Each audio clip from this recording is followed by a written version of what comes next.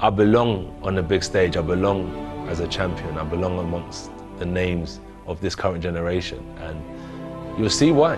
You know, if I didn't fight the best, I may not have lost. When I lost the first time, as I said, I never made no excuses, but I have my reason, and I and I always felt like cool.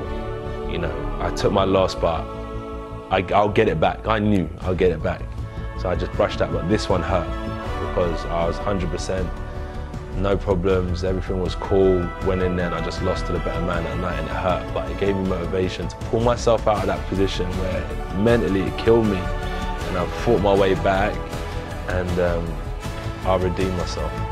He doesn't love being a celebrity. He can't stand being a celebrity. All he wants to do is go and play football over the park with his mates, or go and have a coffee in the local shop.